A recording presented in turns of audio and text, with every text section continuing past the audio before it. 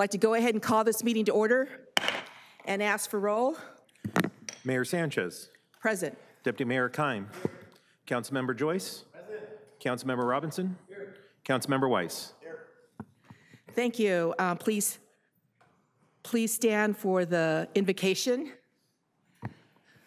To- to- Today, we have Trace Martinez, OPD chaplain.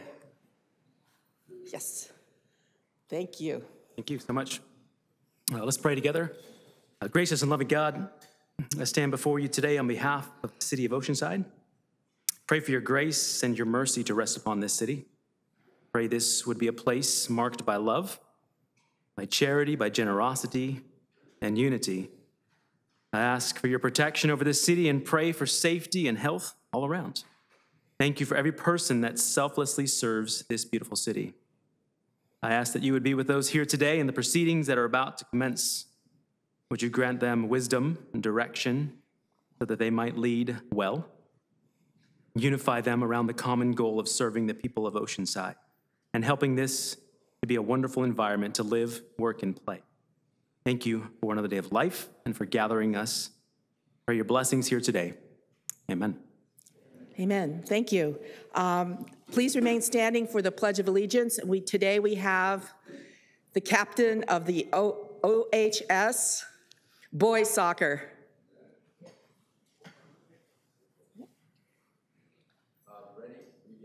I pledge allegiance to the flag of the United States of America and to the republic for which it stands, one nation, under God, indivisible, with liberty and justice for all. Thank you. Thank you. You may be seated.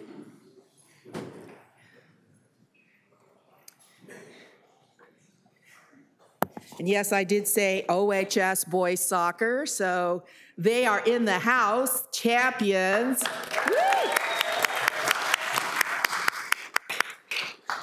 With their fantastic coach, Frank Zimmerman, also in the house.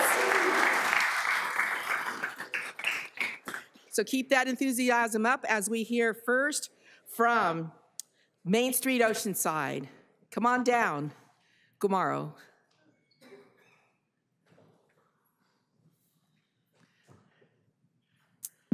Good evening. I think it's in here, right?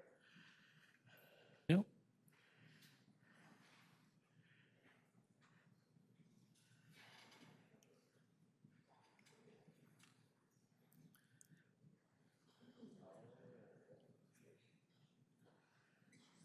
Good evening. My name is Gumaro Escarcega, the CEO of Main Street Oceanside.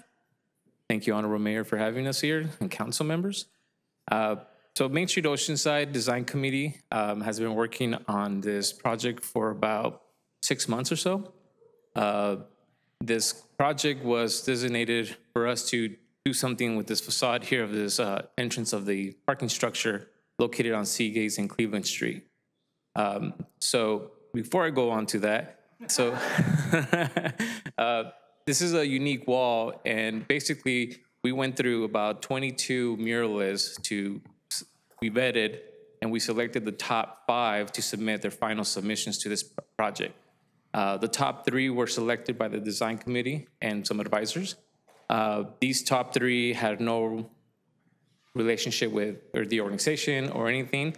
This is, was an inclusive process that we went city and regional to make sure that we attracted the best of the best of, the, of muralists here. Um, so with that said, this is the top three finalists that I'm presenting you guys. Um, at the end, there is a QR code. We're launching voting today. Um, and I'll explain to you, once you guys go into the voting, there's more information because we're having the last voting day to be on Saturday, April 13th. Um, that's going to be where you come and visit and, and meet the artists, the top three artists. We're going to have it at the rooftop at Pierside South. We're going to have catering by Oceanside Kitchen Collaborative, and we're going to have open uh, voting that day, and that will be the final day the community can come and vote for this for this project. Johnny Pucci is a San Diegan artist. Uh, he's done a lot of worldwide and uh, or international muralists, very famous. Um, so he, Johnny Pucci is one of the submissions that were uh, accepted to be in the top three. The second artist here is Mike Smack, a local artist here. Uh, this is a uh, really cultural driven um, uh, mural to represent our Latino community.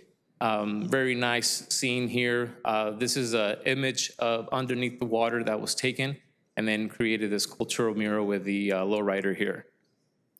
The third mural is uh, from Nicholas Danger McPherson, out of Wild, somewhere in the region here um, in Riverside. However, he has done a lot of work here in Oceanside with some of the businesses.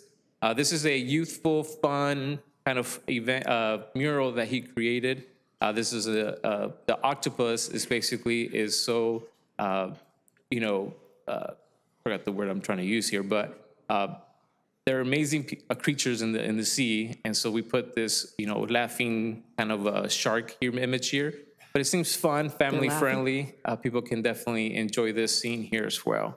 So with that said, I would like to use today's date in front of you council members and mayor, basically place your vote if this was even better. So I'm not even sure if you're gonna read this, because that read really well this earlier before I came in here, so.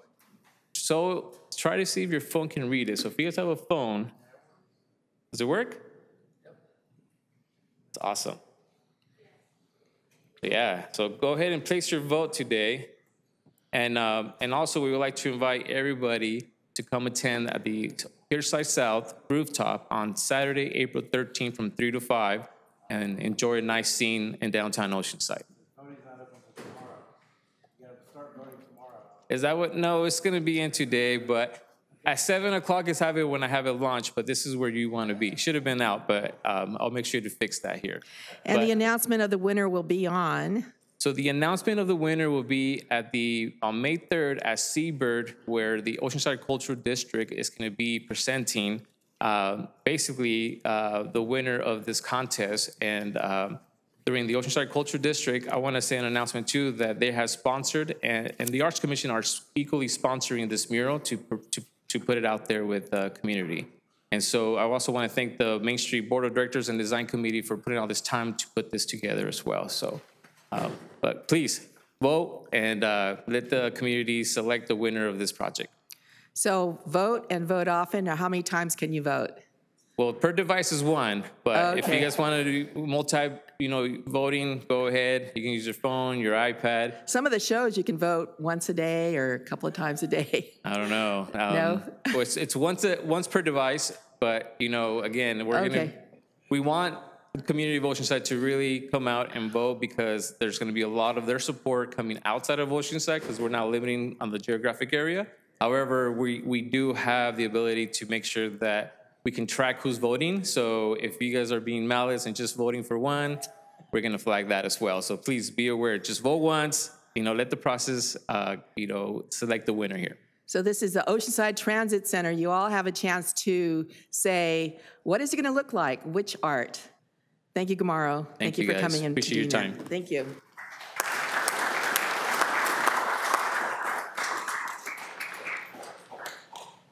Next. OHS. OHS Boys Soccer, they are the champions for the Southern California uh, Regional. So come on down, you guys, come on down. You are champs. We also have our, our coaches here. In fact, Coach Zimmerman.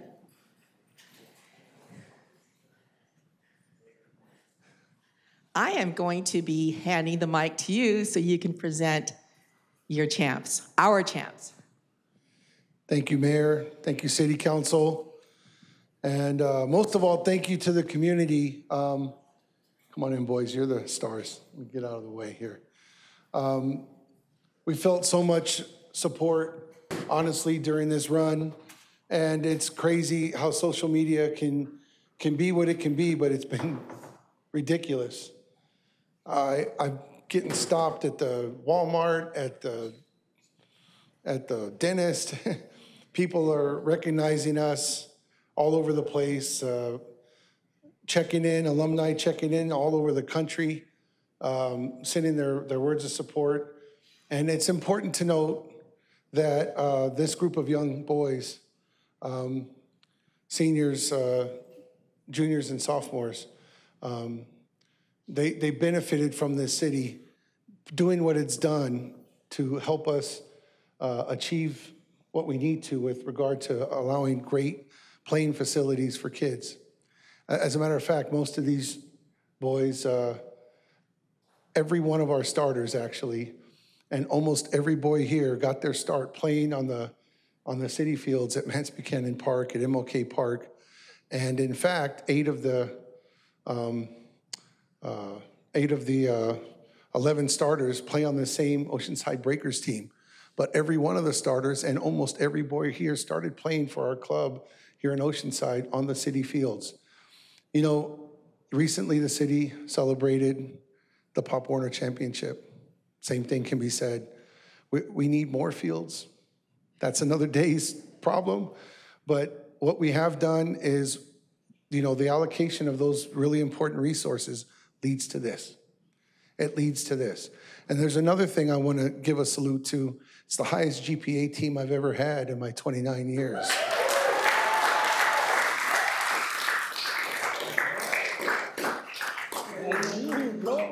And this guy, this guy's 4.75 GPA. Right? So the team, the team is riddled with that scholar athlete, that academic-based athletic dream. It's still alive. And so I just want to thank you, Mayor, and the City Council for supporting them since they were four and five and six on their way here. We need your continued support for that. And we'll keep winning championships. So will Pop Warner, so will T. Uh, Tiana, Pau Pau is playing for South Carolina. We produce champions, not just on the athletic field, but yes, on the athletic field. So thank you. And this is the first time ever Yeah. Yep, it's our first state championship ever. Um, the whole regional thing. Northern, yeah, it's our first one ever, and it's our first undefeated league season ever. These boys did a fantastic job. Our coaching staff is incredible. I'm really proud of them. They all need haircuts, but they're they're good boys. Well, I do have certificates. How do you want to do this? I think we should read, I'll read them out. All right? Okay, I'll read them out. Yes, if you want to hand them to them. Yes. Okay. Evan Aldrich, Mr. 4.75. Can I borrow this? I want to get out of their way. Here you go, Mayor. Is this good? Maybe this was Yeah. better. All right.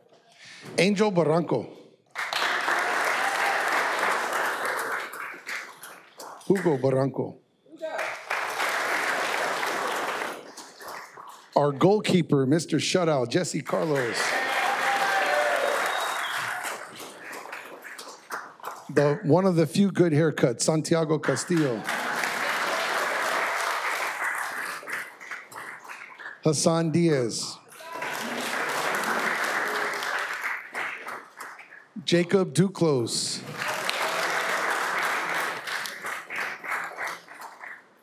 Sam Jaweski.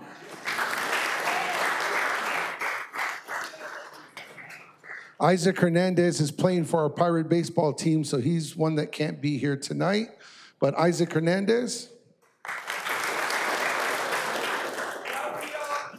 Yeah, Bar- Braulio Ibarra, our league player of the year. Wilfred Isaac, our other goalkeeper. Our junior captain, Kellen Love. AJ Martinez, is AJ here? AJ didn't make it either. AJ Martinez. Super sophomore Tristan Martinez. Thierry McElroy. Ivan Mendez. Lincoln Newcomer is back east with his family, so Lincoln Newcomer. Giovanni Ramirez. What's cool about Giovanni is Giovanni's dad was on my first CIF championship in 2002. So that's kind of cool. That's kind of cool. Giovanni Reza. Uvaldo Rodriguez. Our senior captain, first team All CIF, Mr. Diego Ruiz.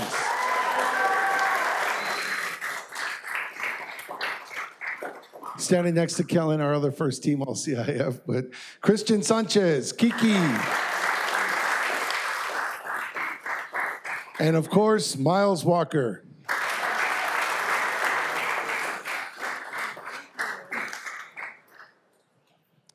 So it takes it takes a staff to make this dream come true because these kids obviously had the dream.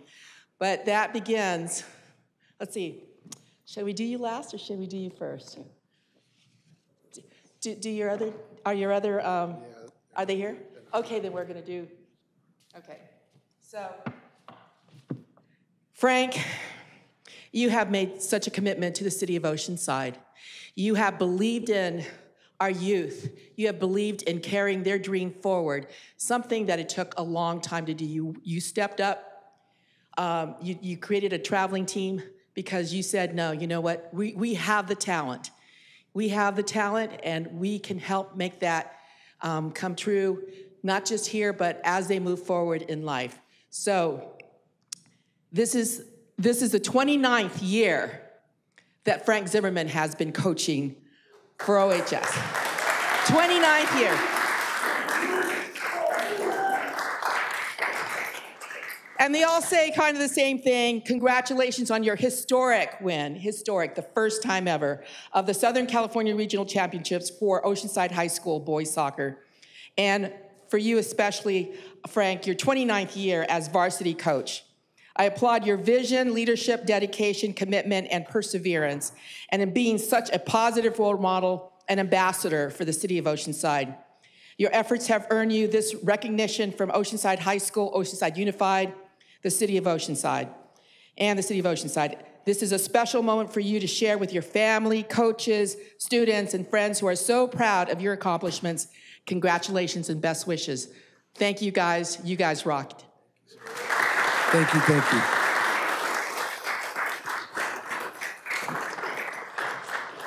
Shall we take a picture, boys?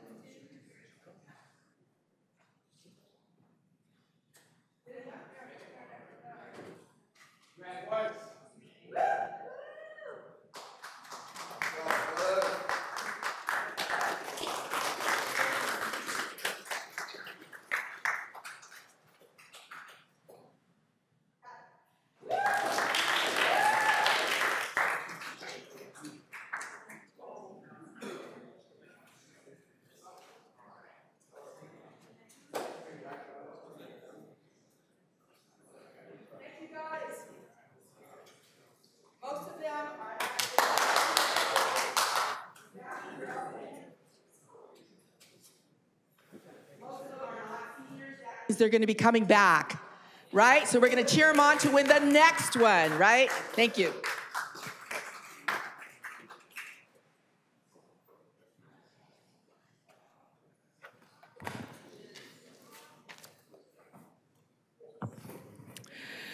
Okay, closed session report.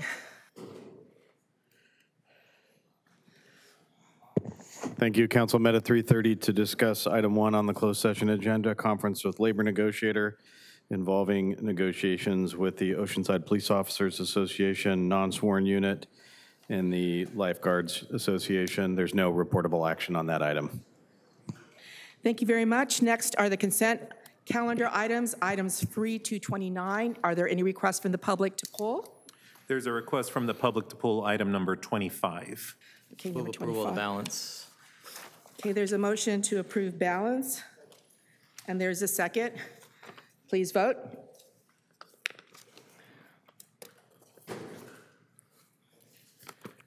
Oh, I'm sorry. I'm pulling number 21. My apologies. I'm pulling number 21.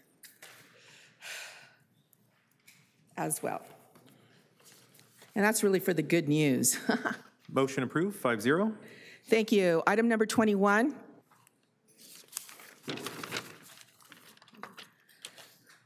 Is acceptance of Federal Highway Administration Emergency Relief Program funds for Vista Way from El Camino Real to College Boulevard in an amount not to exceed $1.5 million for road damage incurred due to the State Route 78 emergency repair detour. Appropriation of the city share from the Measure X Street Restoration Asphalt Overlay account, and authorization for the city engineer to execute and submit all documents and agreements necessary for the use of these funds and for the completion of the project. So, Mr. Thomas, our city engineer, Good evening, Honorable Mayor and City Council members. Uh, For item number 21, in 1979, Congress authorized the Federal Highway Administration Emergency Relief Program to aid in the reconstruction of roads which had suffered damage as a result of a declared event or an emergency. As a result of the closure of State Route 78 in March 2023, traffic was diverted onto several city streets, with the predominant street being Vista Way between College Boulevard and El Camino Real. Vista Way was inundated with a majority of east and westbound traffic along 78 for several weeks while Caltrans worked on repairing a failed storm drain. The added traffic rapidly accelerated the deterioration of this portion of the street as commuters sought additional and alternative ways to commute, to continue their daily commute. Um, On March 21st, the city manager declared a local emergency in response to the damage which occurred on Maj- on March 13th, 2023. By proclaiming the local emergency, the city became eligible to apply for Cal OES assistance under the California Disaster Assistance Act, as well as applying for funds under the Federal Highway Emergency Relief Program. At that time, the County of San Diego had not been included or added to the Presidential Disaster Declaration, making the city ineligible for FEMA assistance in this event. Um, As a recap, westbound 78 was closed for approximately one month while repairs to the north side of the storm drain were affected. And then the eastbound lanes of 78 were closed for an additional month while the southbound portion of the storm drain was repaired. FHWA will fund 88.53% of the repair, which is estimated to be at $1.7 million. This 88.53% represents a $1.56 million share from the federal government. I'm happy to answer any questions at this time. and the city, and the city share, didn't mean to say that. Uh, The city's share, say that 10 times, uh, is um, 203,000, correct? And that is doing, that is coming, um, coming from Measure X. So I know I received a lot of complaints about what happened to uh, Vista Way, especially this, this um, part from um, El Camino Real to College. So great, great um, news. When is this going to start, the construction? Staff is actually working on the preliminary paperwork for FHWA, so as soon as we get the funds, we can move forward with it. Great. I think I heard starting the end of this year. As early as we can. Okay, Absolutely. fantastic. Well, thank you so much. You're welcome. Motion to approve. Is there a second? Uh, Any, any comments? Doesn't look like it. Please vote. Thank you. Thank you, Brian. Motion approved, 5-0. Thank you. Item number 25 is acceptance of the city treasurer's report for the quarter ended, ending uh, December 31st, 2023. And there was someone who pulled it? Yeah, we have item number 25 was pulled by Nadia. Is Nadia here?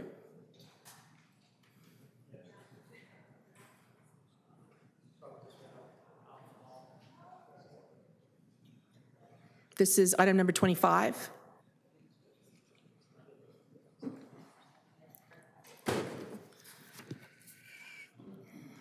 City Treasurer's Report.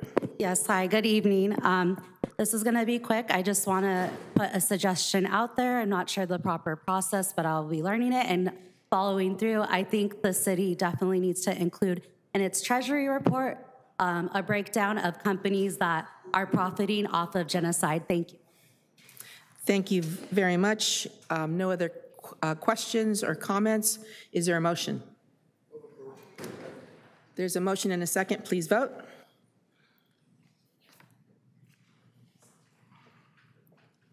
Motion approved, five zero. Thank you very much.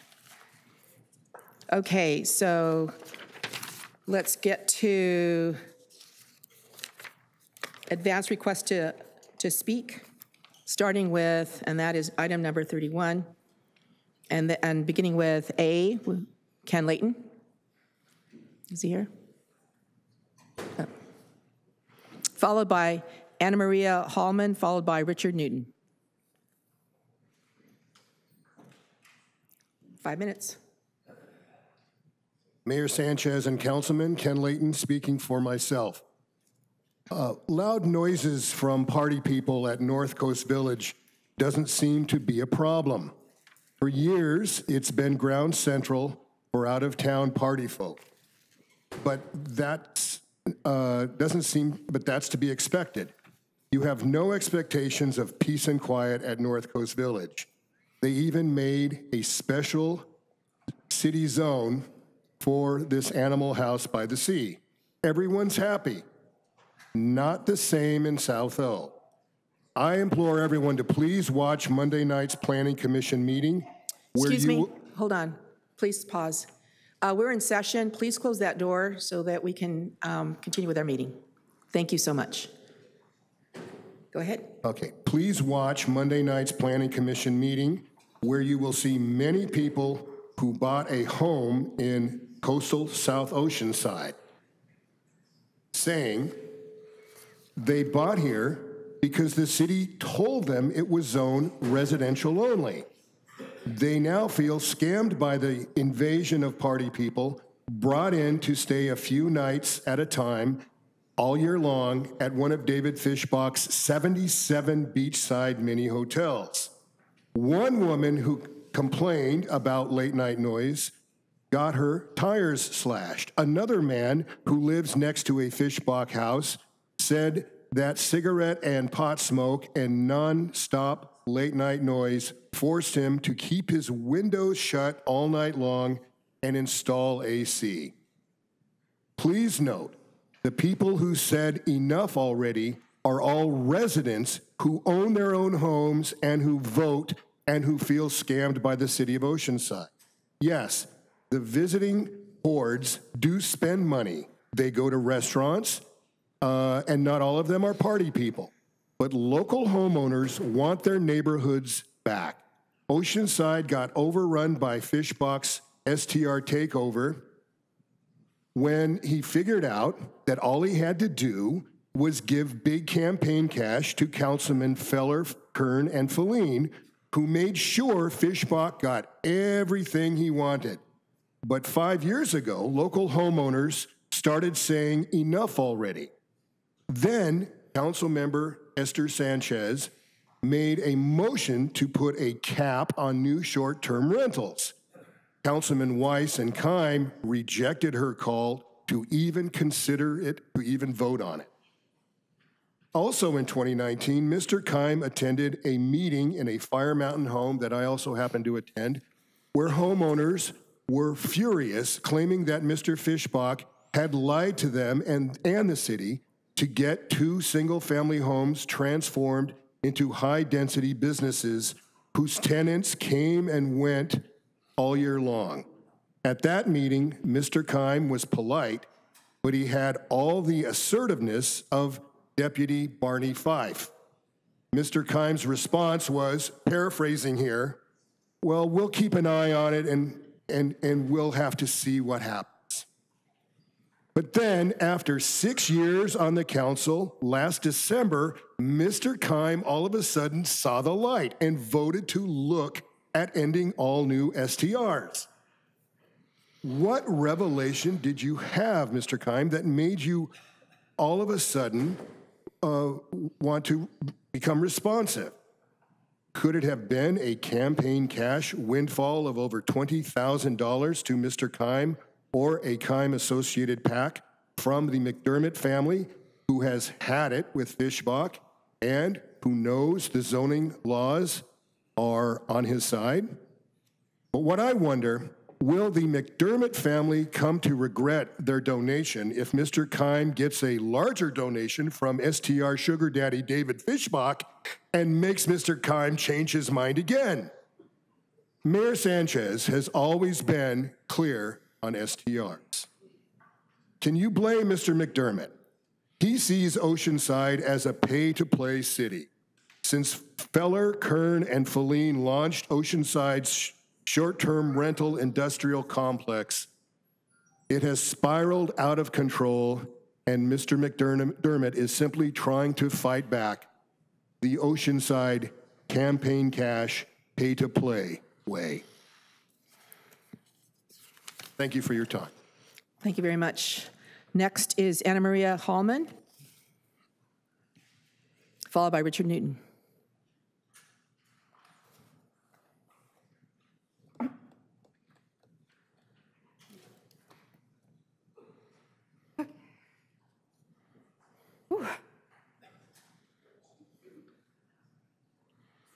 Okay.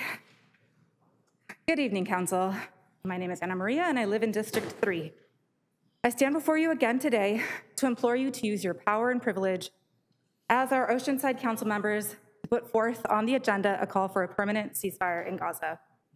My district council member, Ryan Keim, told me that the situation in Gaza is Mike Levin's concern. Well, who has Levin's ear if not our city council members? So, demand that Levin call for a permanent ceasefire on our behalf. Keim also told me that the genocide happening in Gaza is not a city concern. With all due respect, of course it is. The truth is, my taxes are arming an occupation that is murdering tens of thousands of innocent indigenous civilians, about half of whom are children. Children like Hind Rajab, a six year old girl in Gaza that had recently graduated from kindergarten. She was riding in a car with family seeking a safer oh, area in Gaza when it was attacked by Israeli gunfire on January 29. In a nightmarish phone call to the Red Crescent, Hind's 14 year old cousin can be heard begging for help because a tank is next to them shooting at them. During this phone call, the cousin is shot and killed. Later, Hind calls the Red Crescent. She said that it was getting dark and that she was afraid of the dark. She said, Come and take me. Come and take me. Will you come and take me? Come and take me. Once the Red Crescent finally gets approval, they send two paramedics to rescue Hind. But for 12 days, no one hears from Hind, from or the paramedics. Then on February 9th, the car Hind and her family were in is found destroyed, with everyone inside, including Hind, in the beginning stages of decomposition. The ambulance sent to rescue her, blown up just a few feet away, both paramedics killed. Children like 12 year old Sidra Hasuna, a child in Rafah doing the best she could to maintain happiness by living during a genocide. But on February 12th, while Americans were watching the Super Bowl, Sidra and her family were attacked by Israeli missiles in the so called designated safe zone of Rafah.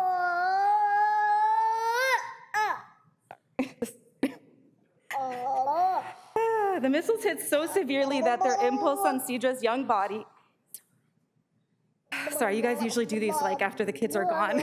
so the missiles hit so severely that their impulse on Sidra's young body caused her to be catapulted against a wall where the sleeve of her shirt got caught, causing her lifeless, torn body to hang for hours. Both her legs literally sh shredded into bloody ribbons. At least 13,750 children in Gaza have been killed by Israel since October 7th, according to UN Children's Fund spokesperson James Elder. That's not counting the thousands that are unaccounted, for under the rubble. The international nonprofit Save the Children reported that the number of children killed in the Gaza Strip is the deadliest conflict for children in modern times.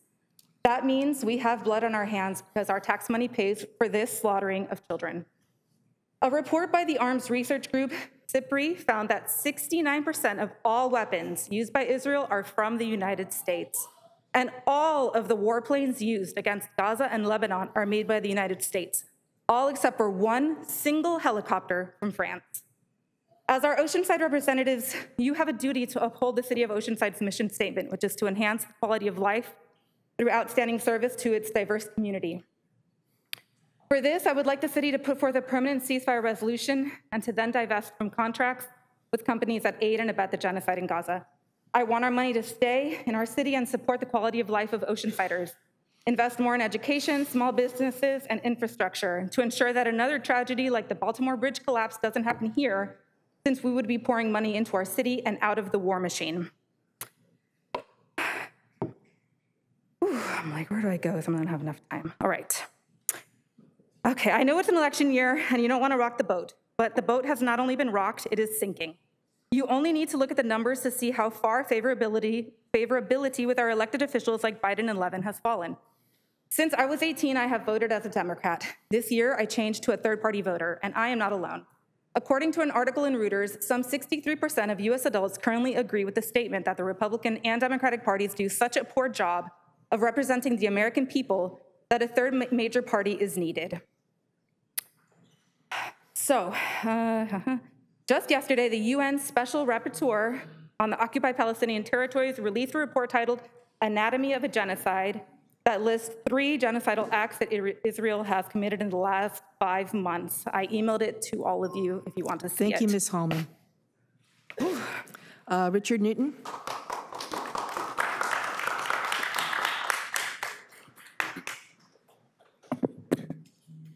Mayor Sanchez, members of the council, and the public. Uh, Speaking about Oceanside's climate action plan, I'd like to build on my previous statements.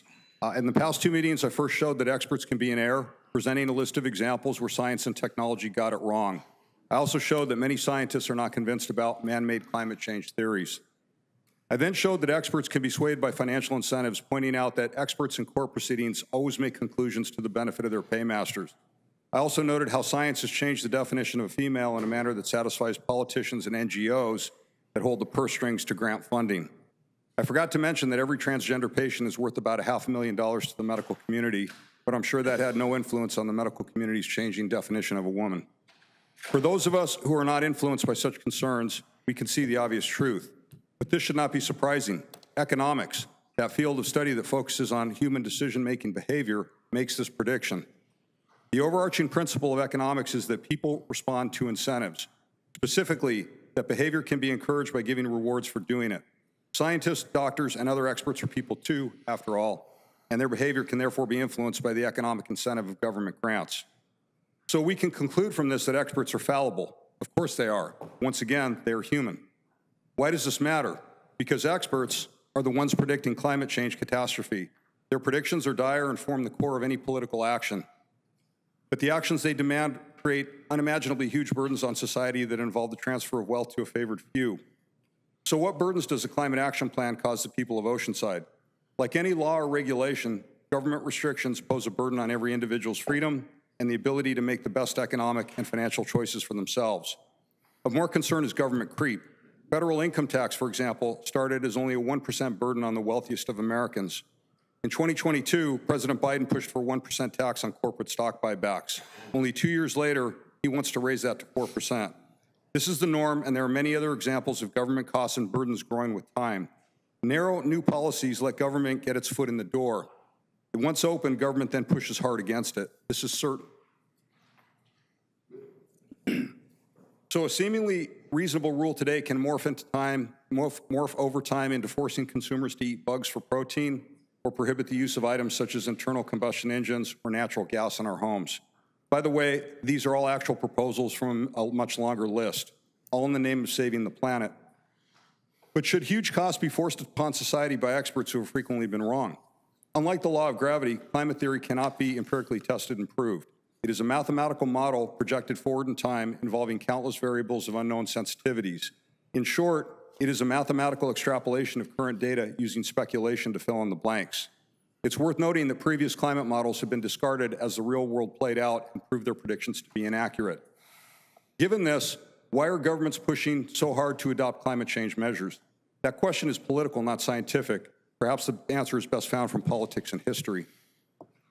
At the root of climate change is the consumption of energy. Energy is the hidden commodity found in everything. From the clothes we are wearing, to the food we consume, to the cell phones we use, there is no item that does not require energy for its raw materials or manufacturing.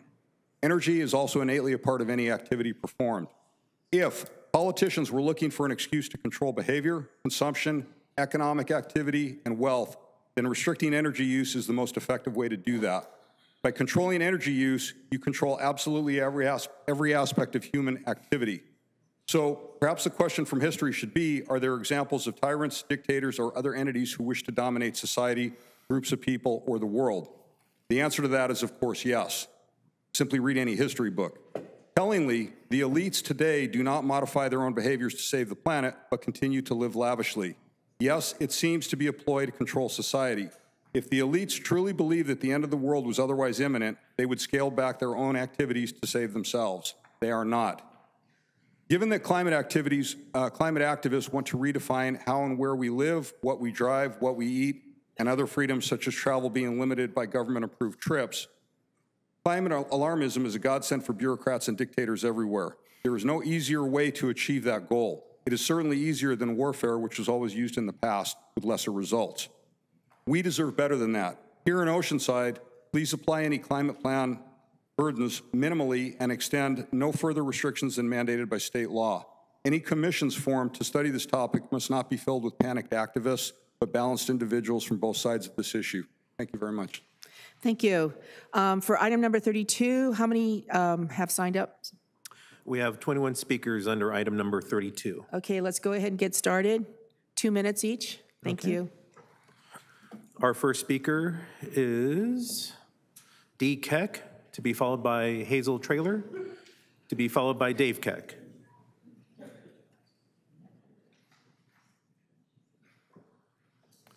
D. Keck? Pardon? We're on item number 32.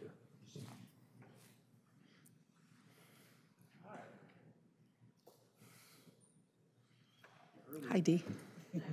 you all again, Mayor, City Councilors, our wonderful other officers and representatives of our district, excuse me, of our city. Um, I am here with OSO, Oceanside Speaks Out. I know I'm not new to you. I appreciate your embracing all that we have to say and the that we will continue to say it. This is having to do with our concerns about the Eddie Jones development that is coming our way, going to be before you in the spring, is what we were told prior. Um, So I don't know the time frame, but we are in spring and we are ready to go. So what I've brought to you tonight is to share with you the, where's my number? Sorry, it's in my bag. The 5,383 signatures that we have so far received by standing in front of supermarkets and standing in various places throughout our community, at churches, anywhere that we would find a group of people who might be willing to listen to us, let us educate them about this development that is coming their way. Too many cars, too big. Those are our two major concerns. It is being proposed under the guise of two conditional use permits. You have the authority to say no thank you based on that alone. The size of the facility is four times what the city code allows, and the number of trucks is five and a half times what the city code allows. So the developer said, please, conditional use permits, let it, let us go wild and crazy. They didn't do a tiny little increment saying, can we please have half again as many, twice as many? Oh, no, they went big. When we had a meeting long ago with the planning department, my inquiry was when a- a conditional use permit is requested, is there a limit to that? And their answer was no. It is either yes or no. Thank you for your time and your continued support. Thank you very much. Thank you. Hazel Trailer, followed by Dave Keck.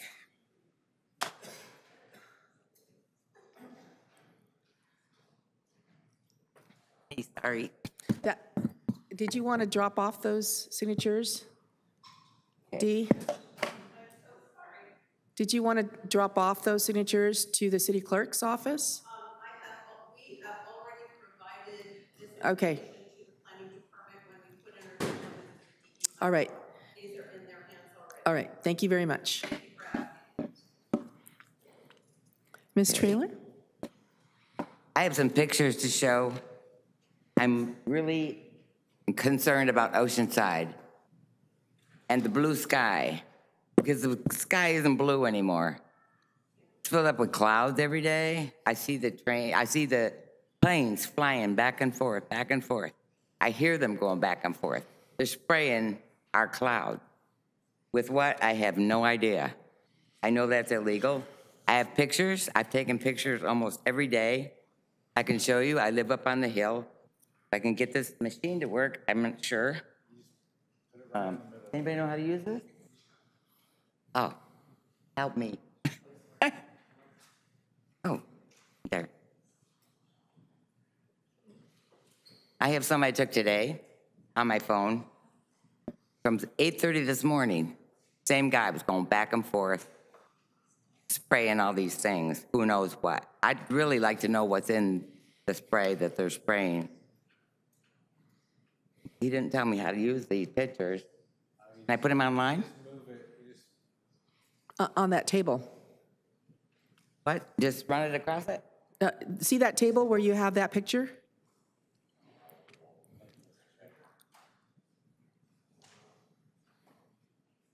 On the frame. Oh, there it is.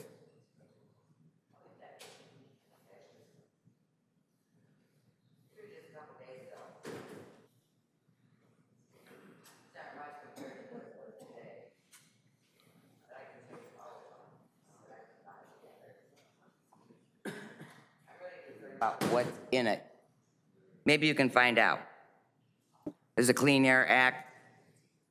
If there's ice in it, if there's whatever they put in there, who knows? I don't know. Some kind of chemicals, who knows? I know that apparently they're saying that all the storms that happened down here were caused by those little sprinkles that they put in the plane. The Santa Ana Water Project was on the online, talking all about it. And apparently, a lot of people were hurt in San Diego. You know where the flooding was. I just don't want this to be in our ocean. Yesterday, SeaWorld said that the dolphins are becoming extinct. I would never want that to happen. I love dolphins. If I could put some of these on my phone, what happened today, all day long. The sprinkles disappear, and then the guy comes back and forth, does it again. I'm sorry my time is up. Thank you very much. Uh, But perhaps the city council could contact CARB or even CWSFR. Th- Thank you very much. Uh, Actually, So that they can get- You'd be able to do that. Yeah. Um, They need to Mr. get Mullen, is there an agency that she could be directed to? Lab. I think we'll take her information and look into it. Okay, thank you very much. Next is Dave Keck.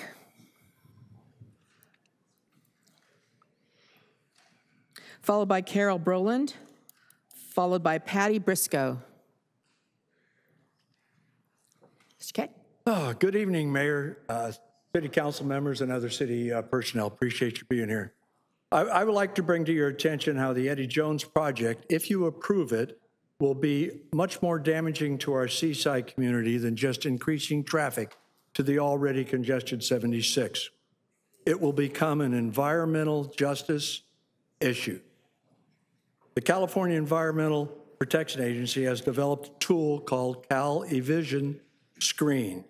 This tool looks at the uh, population census tracts and assigns a pollution burden score that takes into consideration not only the effects of the various pollutants, but also the unique characteristics of the residents residing in each population tract.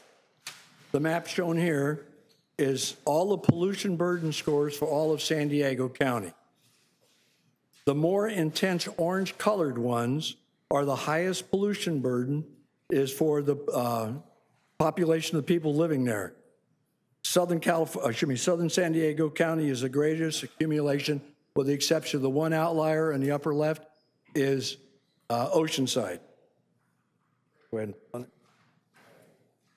This map shows the population tracks in Oceanside The blue uh, area is where the Eddie Jones project is going to be, and the two blacked out areas are population uh, tracks that have 71 percentile of the burden of uh, the pollution burden. That results in, they means they are in the 29% of the residents who are saddled with the various effects of the pollution that's going to be generated.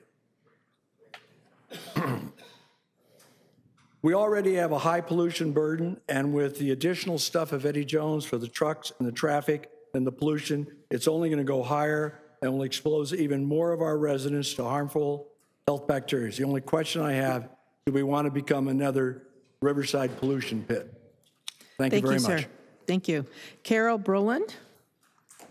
Honorable Mayor, City Council members, my name is Carol Brolin. I live in the airport community, um, about a mile away from the proposed Eddie Jones project. I am, uh, I am opposed to this project. I don't think it's a bad project. I think it's a bad location. It would impact our, our traffic, our air quality, our, our road deterioration would increase quickly. Um, Traffic would be a nightmare, air pollution, uh, wildlife. All of, all of these things would be impacted terribly by this project. Um, I'm not here to ask you to, um, to not accept this project. I'm begging you to not accept this project in our community. It will change our life. It will impact our life. Thank you for your time. Thank you. Patty Briscoe? Hi. I'm new to Oceanside, been here about a year, and I'm just here to say I oppose the Eddie Jones project. Thank you very much. Thank you. Uh, Marion Donahue? Yes. um, I'm here to praise a couple of things that are happening in Oceanside. I would like to commend Valerie McAdam and her crews who helped me during the flooding. She embodies the spirit of Oceanside, helping people. I also would like to commend the buying of the uh, two acre, I think it's two acre parcel, where the battery storage facility will be built. That is in line with our climate control um, and our climate goals for the city of Oceanside. All of you received a handwritten letter with photographs about my fire concerns about Eddie Jones, and having lived through the Panorama Fire in San Bernardino, I do not wish to see any single tiny spark ignite the whole hillside like happened to me once before in my life. I would like to think that we in Oceanside are putting people before money. Thank you. Thank you very much. Uh, Nathan, followed by Macy, followed by Madison Lang. Well, actually, well, let's try to do those three. Hello, Council, Mayor, and Deputy Mayor. Another couple weeks have come and gone, and there has been little done for those suffering in Gaza besides putting forward words without any concrete action. What we have had is the recent UN uh, Security Council resolution calling for a ceasefire in Gaza. However, Israel continues to escalate its ongoing aggression and its genocidal siege of Gaza. Israel has shown and continues to show us that international law is but mere empty words. This has been the case for the past 76 plus years that Zionism has been violently dispossessing Palestinians, Lebanese, and Syrians from their lands. I recently saw the post made by Councilman Joyce, and while I applaud this urgent call for a ceasefire, I don't agree with this framing of both sides being on equal footing.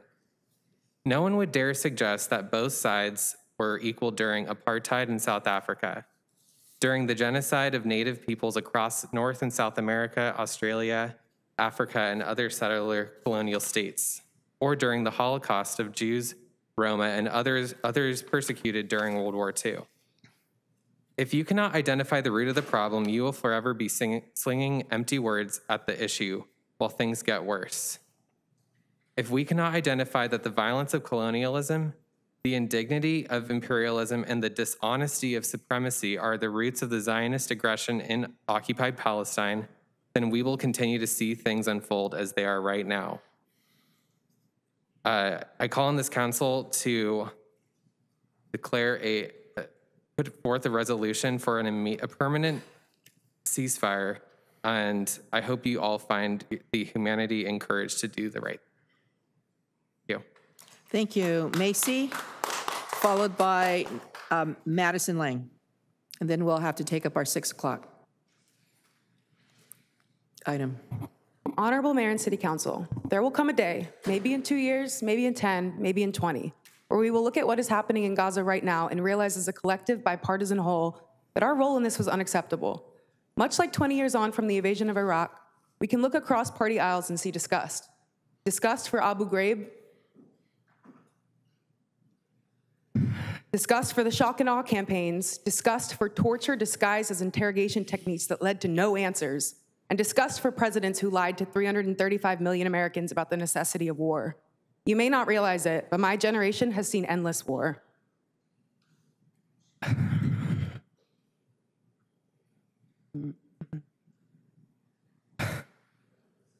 Weapons of mass destruction and 40 beheaded babies are warmongering lies directly from our past and current presidents' mouths that led to thousands of civilian deaths in Iraq and Gaza, respectively. We murdered so many civilians in Iraq that it's still debated by the thousands 20 years later. What I'm saying is that there will come a time when the history books point to everyone in power who ignored their direct or indirect role in enabling this genocide. You may not see yourself in those books, and I'm sorry you feel so powerless. Still, your position of power could be used to put Oceanside on the map alongside the cities of Pasadena, Santa Ana, Lemon Grove, which is just a 45 minute drive south from us, and many others across the state and our country that passed ceasefire resolutions calling for an end to this nightmare that we are all being forced to not only watch, but to fund with our hard earned money as well. Please, Esther, we have been begging you to put forward a motion. We don't want to work against the first woman elected mayor in Oceanside, but you are leaving us no choice by ignoring our pleas. Do the right thing. Talk with Eric, who posted today calling for an end to the violence on his Instagram. You have the power to put this on the agenda, and as we have been begging you to do for the last four months, reach across the aisle and speak with your fellow council members. Do your duty and the absolute bare minimum of having this conversation. Thank you. Thank you. Madison Lang? This is the first time I've done this, so I pushed the. Just push the mic in front of you, towards you, the mic. Oh, okay. Yes, all the way, to- yes, and sp- speak as close as you can to it. Is this So- it? Okay. There you Um, go. Honorable Mayor and council members, I enjoy every day that I get to drive to and from my house. For example, um, they're going to be building the um, ocean camp, and there might be 9,000 vehicles a day. They're expecting a three-room, 300-room hotel, trailer park where air- Airstream trailers will get to park, and there'll be condos to rent. Then I get to turn right for about a mile and a half, and suddenly I'll get to Airport Drive, which is also the other side of Benet, and you want to build a 114 bay truck warehouse with each of those trucks carry 500 gallons of gas. Now, you know already the 76 is a zoo. I hope all of you are familiar with the 76 mm-hmm. because it's only two lanes on each side. We can't have 9,000 cars coming to the ocean camp and then 114 bay trucks every 24 7 driving on that road. If there's a fire, we're all going to die in the middle of the street. So please, please, please think about this before you approve this warehouse because it's insane. Thank you very much. All right, it is 6 o'clock. Going to go ahead and get started on our one public hearing item. This is item number 30. Um, We'll go back to um, the items, uh, public comments on, um, not on the agenda, after we finish our public hearing item. Um, Item 30 is receipt of a report on the anticipated fiscal year 2024-2025 Housing and Urban Development Program budget for the Community Development Block Grant and Home Investment Partnership Programs. Allocating funding for various housing and community development activities, planning, and program administration to be included in the fiscal year 2024-2025 Annual Action Plan. Uh, Conduction of a public hearing on the prioritization of the grant funds and development of the 2024-25 Annual Action Plan, and closing of the public hearing and initiation of the 30-day comment period. So we are going to um, open up the public hearing, and I'll go ahead and do that. Uh, Request disclosures of- from council members regarding constituent contacts and correspondence. Staff only. Staff. Members of the public? Uh, Staff and communities concerned. Uh, Mr. Navarro, do we have um, any correspondence and or petitions? Uh, We haven't received any correspondence or petition on this item. Okay, so we are going to hear from Cecilia Barandiaran, Management Analyst for the City of Oceanside. Um, After she does her uh, presentation, we will hear from the public. You did not um, have to sign up to be able to uh, um, speak on this. Um, We will then close the public hearing. Um, We will go to the council for questions and or comments. Um, we will then state that the report is hereby received. We do not need a motion for that. And therefore, thereafter, we will, this begins the 30-day comment period. So, Ms. Barandiaran. Good evening, Mayor Sanchez, City Council members. I am here tonight to report on the anticipated 2024-25 funding priorities for various housing and community development uh, needs, receive additional input, and start a 30-day mandated comment period. The action plan is part of the adopted 2020-25 consolidated plan that identifies the anticipated uses of our CDBG and home dollars, and it was based on the community input received from various community groups such as Crown Heights, Eastside, Libby Lake, and Tri-City neighborhoods. And it shaped the proposed uses of the 2020-25 consolidated plan. The primary objective of the CDBG program is the development of viable communities through decent housing, suitable living environment, and expanded environment economic opportunities for low and moderate income persons. Additional federal requirements include the nature of the activity, meeting national objectives, organizational capacity, and adequate administrative and financial systems. Entitlement figures are based on the current fiscal year 23-24 fiscal allocations. HUD has not yet published the anticipated 24-25 allocations. CDBG program income consists of repaid loans and any unexpended funds from prior years. We are anticipating a cut to our CDBG entitlement of approximately 10%, and all programs and activities will be further reduced based on the actual HUD appropriation. In terms of administration and planning, funds under this category cover all city staff associated with the management and administration of, of C, the CDBG program, including regulatory compliance, contract administration, subrecipient monitoring, fiscal management, and prepared of all the required planning documents. The administration and planning category also includes housing program development activities to promote fair housing. Per HUD regulations, administration and planning activities are capped at 20% of the annual entitlement, and it's currently 278,337. Public services, we are allowed to spend 15% for public services of our allocation, and that amount is 208,753. After the public services administration activities are funded, remaining funds may be used for eligible capital improvement projects, public facility improvements, other housing community development related activities. As it relates to our Section 108 loan repayment, we continue to make payments on the annual on an annual basis for its Section 108 loan for the construction of Fire Station 7. Payments on this loan began in 2008, 2009, and are amortized over the 20 years with um, our allocation being 257,546 for next year. The total balance remaining on our 108 loan is $1,066,441.53 and will be fully repaid in fiscal year 28-29. The Housing and Neighborhood Services Department also manages our housing rehabilitation programs, including loans to low-income homeowners and grants to very low-income mobile homeowners. Existing housing programs are funded with prior year dollars with a combined allocation of 430,000. This budget includes 130 for project management and loan services. The rest is direct to clients. In regards to public facilities, several capital projects have been identified with the assistance of community input, again received through the Parks and Recreation Master Plan, the Eastside, Crown Heights, Tri-City, and Libby Lake neighborhood communities.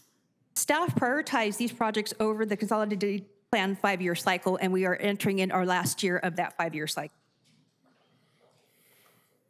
Our home program um, income consists of repaid and or unexpended funds from prior years. Home program income consists of repaid, again, unexpended funds from prior years. Sorry to be duplicative. The home program admin budget is capped at 10%, and the amount set aside for qualified community housing development organizations known as CHODOs is capped at 15%. The other allocation is to continue to support the tenant-based rental assistance program for the community. Since this is the final year of the five-year consolidated plan, staff went to existing meetings and listened to community needs. The Libby Lake meeting had 21 attendees, and the Crown Heights had 12 residents. All the comments received at these meetings have been added to the attachment C. This concludes staff's presentation. I'm, I'm available for questions. Thank you. Thank you. I, I did want to ask a question, um, since just there. Why wasn't the East Side neighborhood included in the community meetings? Part of the community meeting process is over the whole five-year cycle. And over that five year, we have gotten input from all the different communities, and that's part of our general plan. Are you saying that it's because it was done last year and didn't have to be done this year? We tend what? to try to hit different neighborhoods every year, so we're not hitting the same community every year. Right. Okay. Thank you. Um, This is a public hearing. This is a time for the public to um, give us uh, your input on this, on the CDBG, that's Community um, Development. Oh, yes. uh, Councilmember Joyce also has a question before we get to the public. I just wanted to ask um, why uh, specific neighborhoods are, are picked for the community meetings? Are they uh, for any particular reason? Council member, um, I mean, Mayor Sanchez, Council Member Joyce, City Council members, when we look at our community outreach, we tend to see in January and February what events are happening. What did we attend the prior year? Um, where are we in the cycle? Are we towards the beginning of the cycle, towards the end of the cycle? And so as part of that process, we determine which events we're going to go to.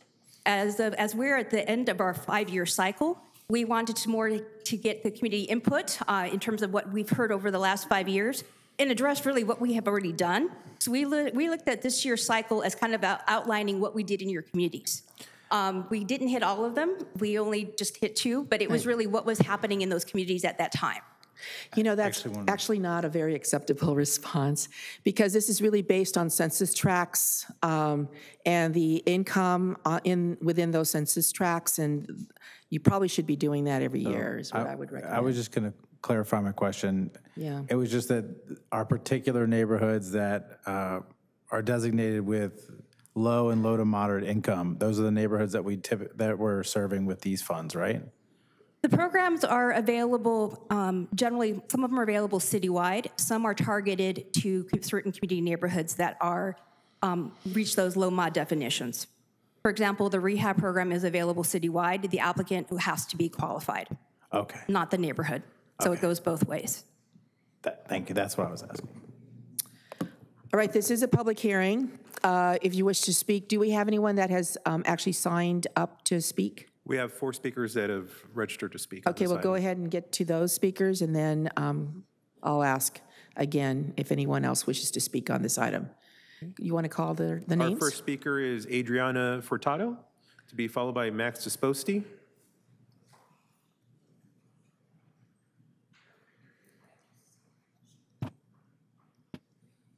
Hello, Council, Mayor, and Deputy Mayor. Thank you for allowing me to speak today.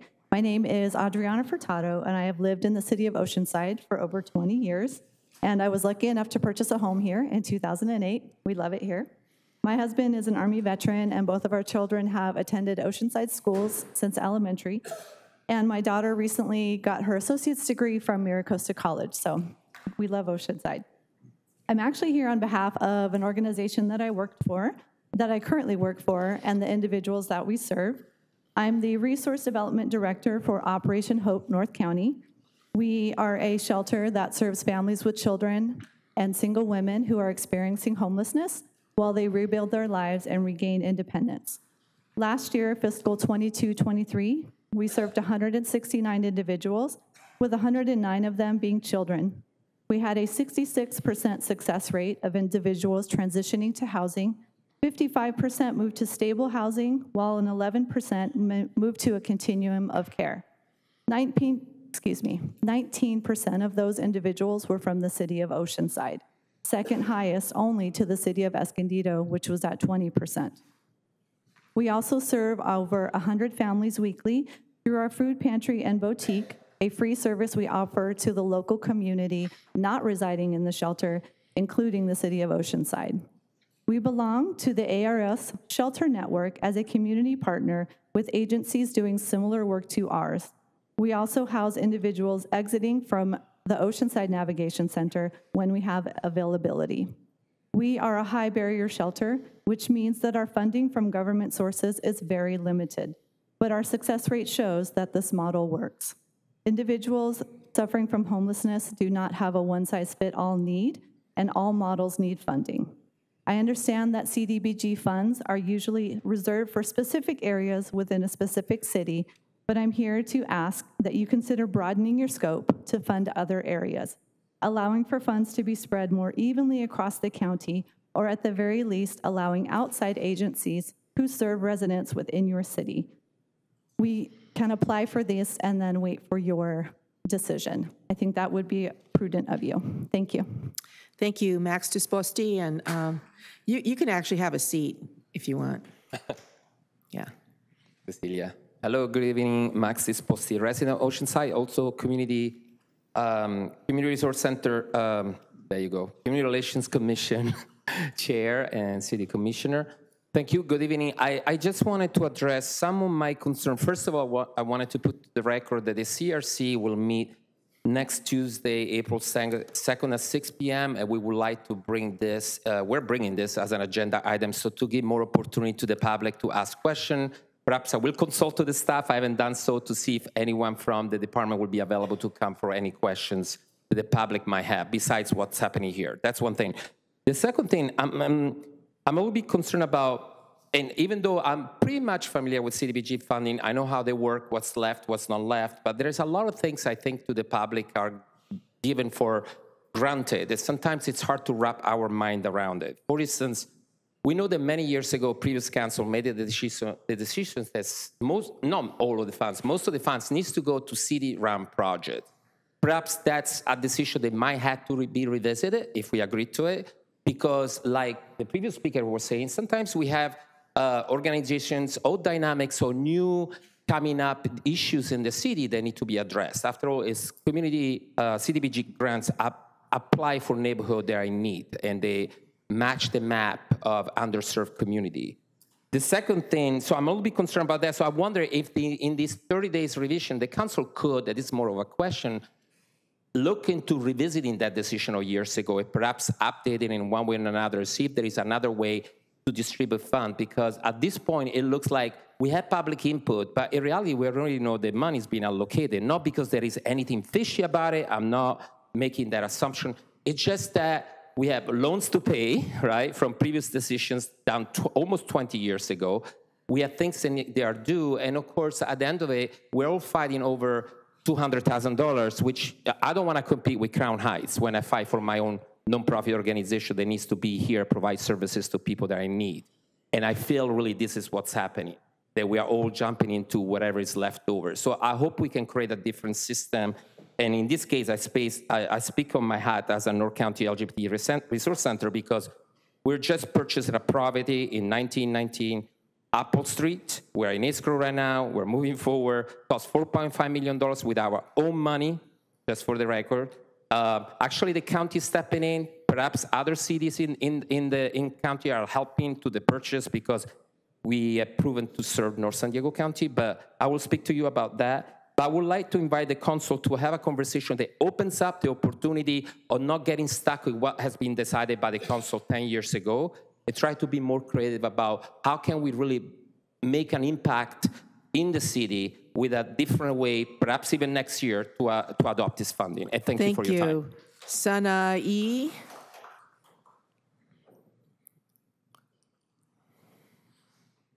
Hi, council members.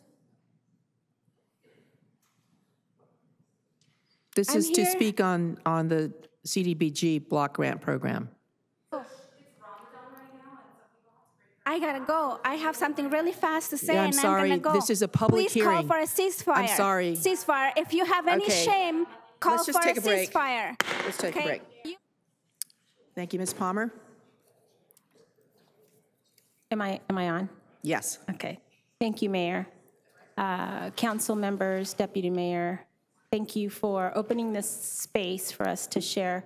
Um, Today, I'm coming to you as, in two of my roles.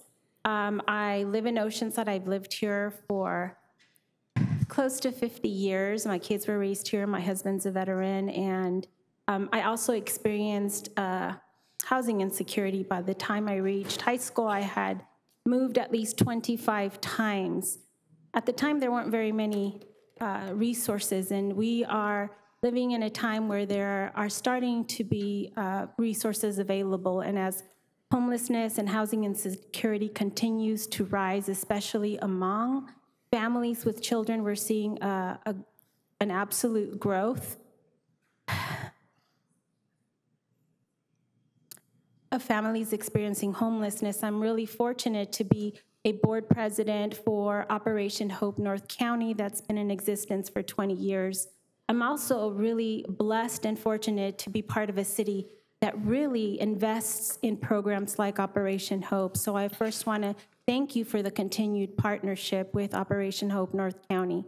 Um, as you heard some of the data from Audrey uh, Furtado, I won't repeat it, but I will remind you that 19% of the families that we serve come from Oceanside. Additionally, I know that you currently give to the ARS, but as more programs are opening up through the ARS, that means the monies that you put into there become even more diluted or more stretched. And cities are starting to pull out. And I want to just beg you to please continue to support programs like Operation Hope. Our data is showing that we need multiple models, and you're supporting Operation Hope. That's one of the models of many others. And we're also, you know, connecting with the Navigation Center. We're taking families from there. We're providing uh, care after they exit through the food pantry and the boutique, and that's also supporting our Oceanside residents. So again, as you reconsider or start thinking about the proposals, I also ask that you think about putting extra money for Operation Hope North County. I also want to recognize that I had my thoughts all together, but because of the incident that happened, it, it's really hard to refocus. And I apologize if it's coming out a little scattered. I also got a little emotional. So thank you for coming. Thank you for creating this space. And again, I ask you to reconsider and add uh, funds for Operation Hope North County on behalf of the families with children and the single women that we continue to serve as part of your vision for Oceanside. Gracias. Thank you very much. Okay, that is the end of the list. Okay, this is a public hearing. You do not have to have signed up to speak on this specific item. This is by law. This item has been calendared for 6 o'clock. This is the only thing that we can hear at this time. We will resume on items not on the agenda after we complete this public hearing item, which is item number 30. Is there anyone else that wishes to address the CDBG program? I see no one rising, so I'm going to go ahead and close uh, this part of the hearing. This is uh, closing the public hearing and go to the council for comments and questions. Okay, we don't have any, co- Councilmember Joyce. So I just want to bring up a couple comments on um, the current plan. So I just think it's really important to hear the, the objective. So I'm just going to read it and apologize for uh, any belabor this. But the primary objective of CDBG program is the development of viable urban communities, principally low and moderate income persons through decent housing, a suitable living environment, and expanded economic opportunity. Um, so uh, I brought this up uh, last year, and I just want to ping it again. We're currently paying down uh, over $200,000 on uh, a loan to pay off uh, Fire Station 7, is that right? Fire Station 7, yes. Okay. And so for me, it, it seems very clear that even though this is a a legal, I, I, uh, asked legally, is this something that we can do? And it's it's been approved. Yes, it's legal. It seems very clear to me that this is not within the intent of the CDBG program. The program itself is really uh, just a slice of our budget that is supposed to really be investing in communities that haven't been invested in in a long, long time. That's the purpose. I mean, it's the designated purpose that we're given by it. And so even though that this is a, a something that we can do, I don't think it's something that we should do.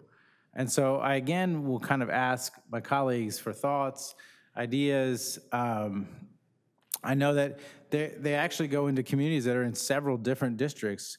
Uh, Councilmember Robinson, uh, the Libby Lake community, which is getting some investment this year, uh, could certainly benefit from the 200 plus thousand dollars that are being paid out for that loan.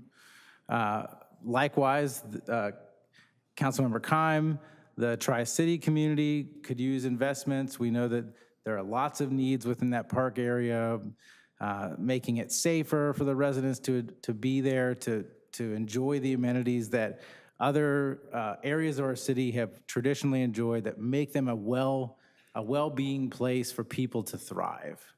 So my ask would be that we take uh, part of what we're rolling over from this year's budget, because I know last year it ended up as like, where do we take it from? Well, this year we're projected to have about 700 and plus thousand dollars rolled over from the budget. I suggest that we take the exact amount that it would take to pay this loan's payment next year and put that in a separate account to pay this loan next year. That way we free up these funds to actually be used for the purposes that they're supposed to be used for. So I just ask if there's any support for that from my colleagues. I, I like to have the conversations up here. I know it's kind of weird because we talk one at a time and we kind of wait, but it, I just, are there any thoughts or comments from my colleagues? Okay, I don't see any other lights yet. Oh, Councilmember Weiss. I don't know, does- do you know what the outstanding balance is on the loan?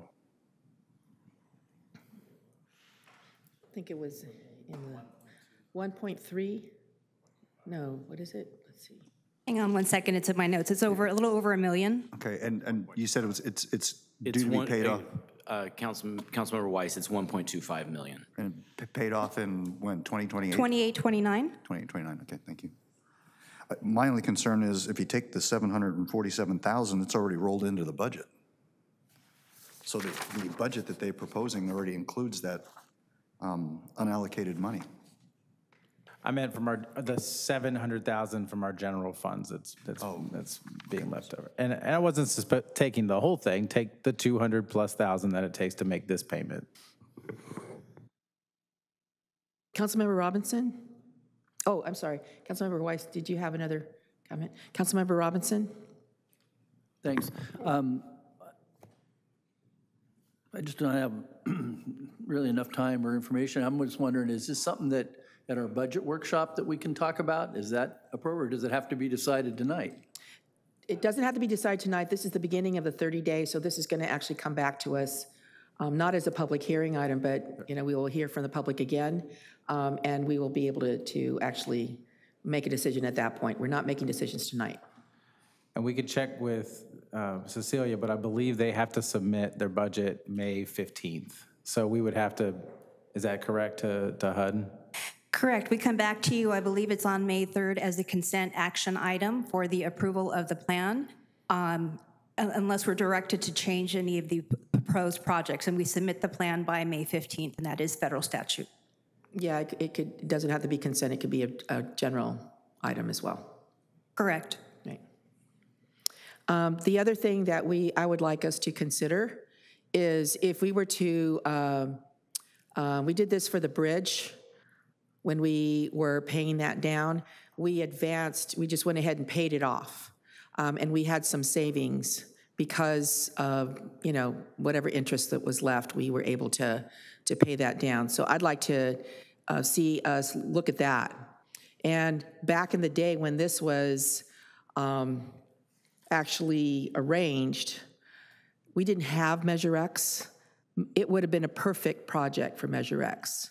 So now that we do have Measure X, I'd like to see um, the possibilities of Measure X taking on the balance of the, the debt. Because CDBG is much more limited in terms of its scope than, say, Measure X um, in terms of public safety. Uh, That public safety is one of the more critical things that Measure X addresses. Um, And it's, and in fact, is being used for, um, to build Fire Station One. So I would like staff to look at that and bring that, bring that information back to us when, when we see this again. Any other comments? We're taking comments now from all council members. Councilmember Weiss. I- would say that I'm comfortable with the program outline that staff has provided us to not start wholesale changing things now, but I like the idea of, in, in advance of this coming back to us, next, I don't mean this time, next year, that we address these issues, because I think they are valid issues, to see, do we have a plan that we could um, replace the, either the loan payment or some other way of paying off, whether it's Measure X or some other uh, idea, but to, to infuse an additional 257,000 into the CDBG program, I think you'll have other, you'll have plenty of opportunity to spend that money. So I, I I would support the effort to come back, have staff come back in advance of us going through all of this again next year. Right, because if you, at the end of the, uh, of the staff report, there is uh, some comments that were made. And I, I know that lights at some of the various um, parks in the at-risk neighborhoods, lighting is very critical. It's, it, it- in fact, it's also a public safety issue too. Um, But it is critical to those communities. Um, And uh, it's been on the uh, list for, I'm sure, over a decade, um, probably even two decades. Um, So there are a lot of wants and desires.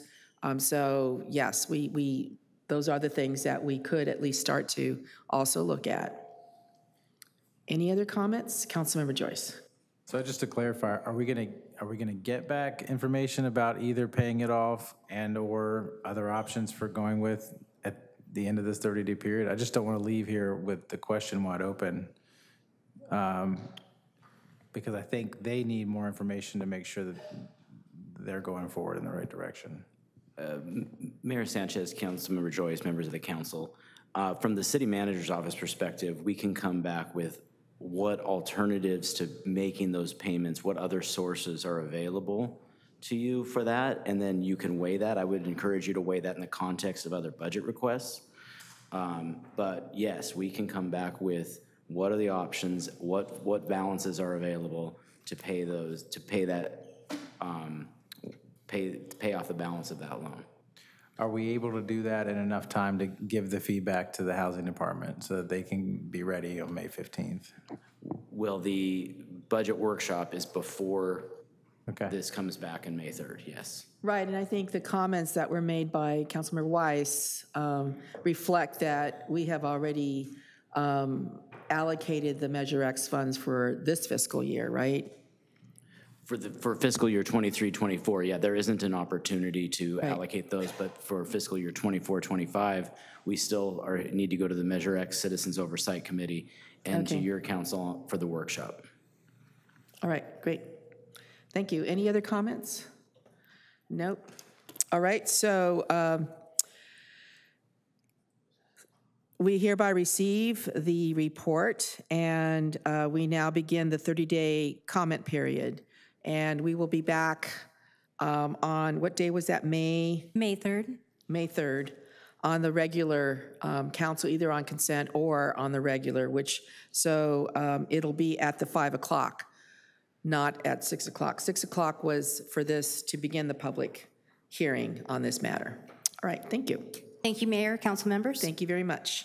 Okay, we're going to go back to uh, comments not regarding items not on the agenda, and we had left off with Madison Lang, I believe, so we're now at Mary Hanson, followed by Randy Hanson, followed by Michelle Lisi Mertzi.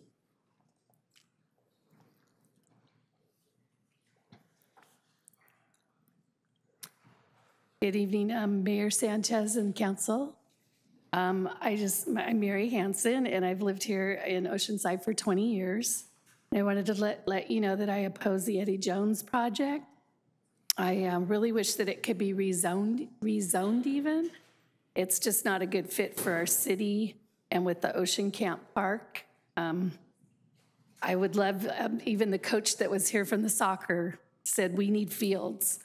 And I don't know, I know that doesn't bring in a lot of revenue, but I have, my husband can talk about being a volleyball uh, coach and been here and doing the team things. Um, that even if we were to get like a sports club and, you know, you could get revenue through that. So that's one idea that I have, or something that people could go down the, the bike path um, fr- from the hotel or whatnot and stop at, that we had like little, I don't know what, things that they sold stuff.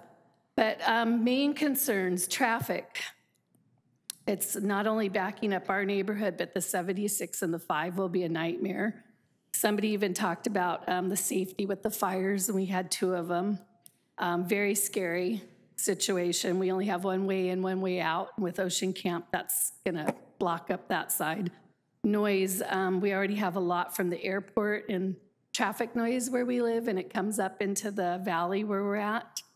So those are my concerns, and um, just wanted to let you know. Thank you. Thank you very much. And Mr. Hanson, Randy? Hello, Honorable Mayor and City Council, thank you for your service. I oppose the uh, Eddie Jones also, and I do bank, back up Frank, the coach. Uh, It'd be great to see a sports park there, something that could add some value to these kids. Um, The other thing, I was sitting at the 76 in Bennett, and this just really caught me by surprise, but there were two 18-wheelers in front of me. It Took me two lights to get through that Bennett signal. This project has 112 bays for trucks, 18-wheelers. I don't know how we're going to handle that in our city, in our, in our 76, already being the nightmare that it is with all the accidents. The first responders, thank you for their service. There's accidents on that street. We hear them almost every day. So again, I'd oppose uh, Eddie Jones, and I want to thank you. Thank you very much, sir. Michelle Lisi? Lisi Murphy? Honorable Mayor, council members, today is the eve of my final cancer treatment. After one year of trials and tribulations, the support of my family and friends will never be forgotten. The appreciation of the love and support will always be appreciated. Which brings me to the topic of today freedom for Palestinians. Please, please take a moment and put yourself in Palestine. We've all seen the pictures and heard the lies. Can you imagine your history, your family, and your future being systematically erased while you are moved around like cattle and even referred to as animals? Stop the genocide. Stop the support financially of Oceanside's money. Free, free Palestine. Thank you. Pat Hartley, followed by Nadia.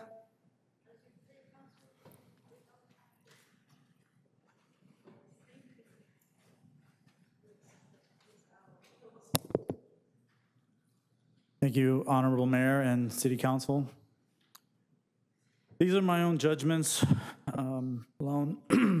my purpose here is to bring people together in the name of hopes of just stopping the killing. But it's hard, you know? As I sit here, and I don't know what happened while some of our speakers were talking, but I saw Mr. Robinson, Mr. Weiss smiling, laughing, and I'm curious. What was so funny? What was the punchline? Maybe you could even look at us and acknowledge us. I think I know what the punchline is. Could you address your comments to all of us, please, sir? I think I know what the punchline is here. We are, right? We're, we're standing up for human rights, and what do you do? You laugh, you snicker.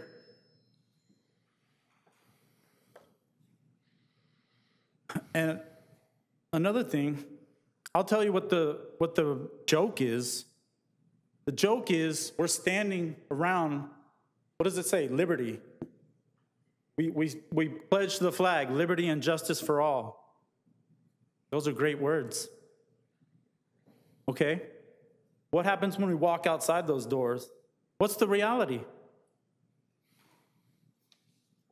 Is the reality liberty and justice for all? Because just a few weeks ago, I can tell you, we were just a peaceful rally, a caravan. We're just driving down down Coast Highway, and some guy runs out and yells, "Terrorist!" And then, on top of that, he walks back to his front door, closes his door, and yells, "White power!" So what is that? Not only is he Islamophobic, he's anti-Semitic. Thank you, sir. I'll just end with one thing. Elie Wiesel, a Nobel Prize winner and Holocaust survivor, he said, I swore to never be silent. Whenever and wherever human beings endure suffering and humiliation, we must always take sides. Neutrality helps the oppressor, not the oppressed. Silence encourages the tormentor, never the tormented. Thank you very much. Please don't be silent. Nadia, followed by Ali El Farah. Good evening, Mayor, City Council. I know you guys missed me the last couple of meetings, but I promise I've been watching um, and been very active. I'd like to say I found it super interesting to watch the public comments last time, uh, especially the vigor in defending and dispelling the truth when it came to vaccines. Trust me, I believe in science, so I totally believe in dispelling those lies. But then we sat and watched two Ziontologists talk for two minutes straight. That's four minutes, doing nothing but lying, and no one spoke up to say, oh, that's not true. We just let them talk. So I feel like we should have the same respect for uh, the truth and facts. But that being said, certain council members, I understand, don't believe in international law. They actually misquote it, just like our representative Mike Levin, which is very sad as an attorney that he can't follow laws, I guess, um, and just spills Israeli propaganda talking points. Um, for one of the other council members, I know you spoke to one of us before and you said, why would I speak about this genocide when there's others going on? As an attorney, I would never, ever ask a question that I do not know the answer to. And it's a mistake that you made that question because if you look into it, Israel is the key, or not the key, but one of the key main important factors in these genocides. For Rwanda in 94, then 70% of the arms to Azerbaijan and the um, Artsakh Armenian genocide or ethnic cleansing, depending on what you want to classify that as, et cetera, et cetera. As we honored the soccer players today, I remind myself that I grew up here playing soccer on the beach by the pier with my brother. We started when I was nine and he was 11. In 2014, Israel directly targeted four Palestinians playing soccer on the beach. That could have been me, that could have been my brother, it could have been any of these kids we honored today. But we still sit here in silence. So I'm please asking you to do this one easy thing put on the agenda to call for an immediate permanent ceasefire. Thank, you, Nadia. Ali El Farah, followed by Christina. Good evening, ladies and gentlemen of the Oceanside City Council. My name is Ali El Farah, and I stand before you today as a young Palestinian American um, whose heart is heavy with loss. In the past six months, the ongoing genocide in Palestine has taken more than 150 members of my family. And those from my family that are alive are currently trying to make ends meet as they have lost their homes and been displaced multiple times, all while trying to look for something to eat for the day. Three of those who passed away were my uncles, and many of which were my cousins, which has caused my parents to suffer deep loss and mourning. These aren't just numbers, they were fathers, mothers, and children, lives full of dreams and aspirations, like anyone else in this room. I'm here today to not only represent my family and the innocent Palestinian people, but to represent the entire global population. Because if we aren't willing to stand up for humanity now, what makes us think that we are willing to stand up for humanity in the future? Growing up in Oceanside, I learned to cherish the values of community, empathy, and peace. Our city, known for its beautiful harmony and diverse cultures, has always been a beacon of hope and understanding. Today, I urge you to extend that spirit of peace beyond our shores. The resolution for a ceasefire is not just a political statement, it's a moral imperative, a call for humanity to prevail over conflict.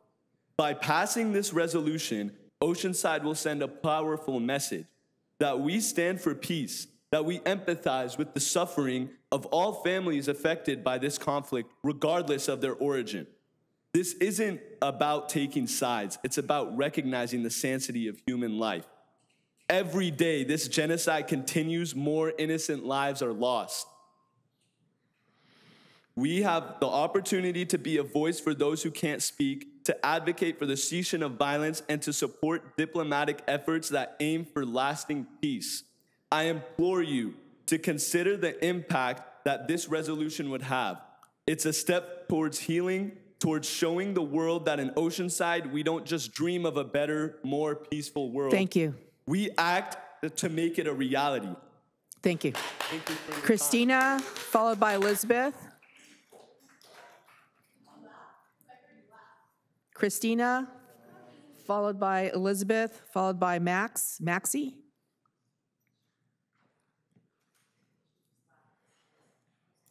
Zoom out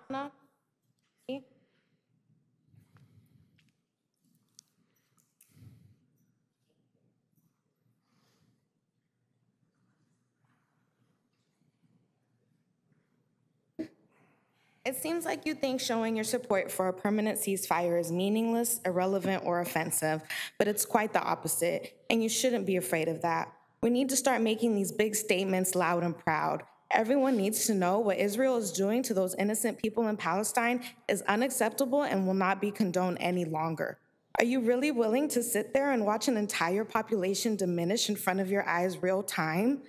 Please do not tell me you're fine with the continuous murder of more black and brown lives. To me, it spoke a lot about your character, Mayor Sanchez, how you reacted to a random woman making dumb accusations and saying nothing important about your vaccinations. What's it going to take for you to get that concerned and worked up over grown adults aiming missiles at minors? We talk about extracurriculars for our youth like junior lifeguards. What about the youth in Gaza who have to spend all day searching for something to eat or drink? You want little brown kids in Vista to have a chance at becoming a junior lifeguard. What about the brown kids in Palestine who lost that opportunity when their arm, leg, or ear had been blown off? At the end of the last meeting, City Council member Eric Joyce was courteous enough to speak with me after I expressed my distress on the topic and the lack of the council not addressing it at all. After trying to convince him how dire and important this is, he did offer to support putting the topic on the agenda. We were not able to secure that offer in writing, and I do not have my witness with me right now, though I really hope his offer still stands. And I really hope that inspires one of you other council members to also support this very urgent and important topic. Please stop letting history repeat itself. Please stop killing my people. A resolution for a permanent ceasefire and allowing all aid to enter Palestine is what we demand, and you should too. Thank you. Elizabeth C., followed by Maxie S. Thank you. Honorable Mayor Sanchez, esteemed members of the City Council, my name is Elizabeth C., and I'm a resident and former business owner here in Oceanside. I'd like to remind everybody that there was a ceasefire on October 6th. I stand here today to request that you please do not engage with the calls for a ceasefire resolution in relation to the Israel Hamas war. Please do not allow this item to ever be on a City Council agenda here in Oceanside. There are three reasons why I make this request. The first one is the war in the Middle East is an international affair. It is not a local matter. There are plenty of local issues here in Oceanside to contend with. Number two, a ceasefire could easily be achieved today if Hamas would release the 134 remaining Uh, hostages. Hold, hold, hold on. Excuse me. The First Amendment, freedom of speech belongs to each one of us. We've been respectful towards everyone else. Please be respectful to the person now speaking. Thank you. Go ahead. A ceasefire could easily be achieved if Hamas would release the 134 remaining hostages, women, men, children, and babies, who still remain underground in tunnels, having been kidnapped on October 7th, 172 days ago. Return the people. Lay down the weapons. The war is over. Hamas is the party rejecting ceasefire negotiations. Hamas does not want an end to the war. They want dead Israelis and dead Jews. And they have vowed to repeat the atrocities of October 7th over and over again. Number three, one of the main reasons why protesters want a local ceasefire resolution is to fuel hatred against Jews and Israelis in our community. These intimidation tactics are promoting hate at a dangerous level. Anti Semitism has increased by 400% since October 7th. It's evident that criticisms of Israel are often a disguise for blatant anti Semitism. Your ceasefire vote would normalize hate. Protesters' slogans normalize hate, calling for intifada, violent uprisings, from the river to the sea, which is the complete eradication of Israel. We don't want two states, we want 48. Again, the destruction of Israel are all calls to incite violence. Thank this you. war is not just about land, it's a holy war against Jews and ultimately the West and democracy. Thank you very much. Uh, Maxie S., followed by Ryan Jones. Hello. Is there- I've never oh. done this before, and I kind of can't believe I'm here. My um, my seventh grader plays baseball for Oceanside American, and he's at Melba Bishop right now. I'm in charge of the walk-up songs, the pump 'em up songs, and they really need it because they haven't won one game yet. but I'm here because on my son's phone, he showed me a video of a fight that took place at Lincoln Middle School in the bathroom. It was a bite that was so bad that one of the kids had to be airlifted to the hospital. And it was really crazy because one of the kids got so angry because of some hand gang signs that he thought it was appropriate to completely beat the other kid unconscious. And then you have the third kid who was videoing it and distributing it by text to all the middle schoolers in Oceanside. This is a problem that we can actually do something about. I don't think any kids in Oceanside should be going to middle school and be fearful for their safety. So I'm here to talk to you guys about that. Thank you. Thank you very much. Um, Chief, would you like to talk to her? Thank you. Good evening, City Council. I would like to reject the notion of the previous speaker who said that all further um, talk of a ceasefire resolution should be ignored. It absolutely should not, and that should be a priority of this council as it is a priority of the community here today. For the past several weeks, you've heard from the people of Oceanside, and their voices have been, up until just now, relatively uniform. We demand a ceasefire resolution and the divestment from all investments which support Israel's genocidal occupation. As of this moment, over 30,000 people have died um, since October 7th in Palestine. Um, and a bigger and a larger growing category is WCNSF, or Wounded Children with No Surviving Family. The fact that this is an acronym which has to exist at all to describe any group of people is insane, but the fact that it is describing such a large group of young people who are being robbed of their digits, limbs, eyes, and most importantly, their childhoods. The fact that this is happening is egregious and insane, and it is our responsibility to say or do something about it. And you, as our representatives, are our voice, and therefore, if the people of Oceanside here say that there must be a resolution for a ceasefire, there must. The crimes of Israel include um, the use of white phosphorus chemical weapons, carpet bombing, clearing of olive groves, filling wells with cement, mass slaying of herds and wildlife, which don't at all sound like the actions of indigenous people on their own lands or people who care about their own environments, people trying to return into the safety of their land. It sounds like a genocidal colonial force and the kind that we have seen throughout history be shot down, be turned down, being declared malicious and evil. And it's time that we do this again for the modern genocidal forces that we put up with. Thank you. Thank you very much. Lucy Rios? Hi, good night, City Council. I'm here to speak. I'm here, I'm here to speak and to be the voice of the children of Palestine. There are over 74,000 injured people in Gaza. Half of them are children. And this is how they look like. So today, tonight, break your silence tonight.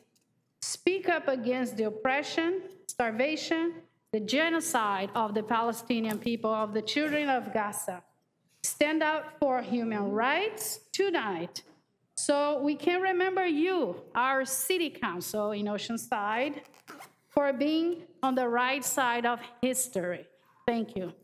Thank you very much. That is the end, is that correct? Okay. So I want to thank you for, um, you know, coming back after the break and allowing us to complete our 6 o'clock item. Um, Just a reminder that at 6 o'clock, we have to, by law, have to take up that item, and the comments are very critical to the decision of the city council. So um, whatever happened, I hope that we can both learn that, please, you do have an item that you can speak on, items not on the agenda.